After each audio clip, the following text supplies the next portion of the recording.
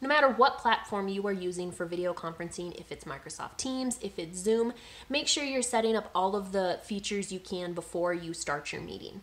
This can be who's going to be a speaker, who's going to be sharing their screen, who can mute and unmute themselves, who you want to have access to it if you're using waiting rooms. All of these things are things that are at your fingertips. It'll showcase your professionalism, give you confidence when you're going through the conference or the video conference, and it also help when you are recording it if that's something that you are needing needing to do. Video conference is a huge tool right now, and that is one way that you can help your business grow. We have a lot of resources on our website. Go to our blog to look for tips on any of the major platforms that we do have and etiquette for video conferencing.